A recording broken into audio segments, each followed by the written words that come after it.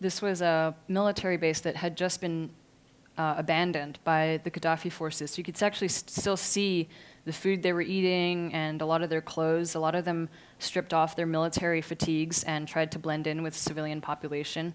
Um, about five minutes after I took this photograph, a helicopter was surrounding us overhead, and there was a, there was a weapons cache just out back. Um, and they wanted to destroy the weapons so that none of the rebels could, could get it.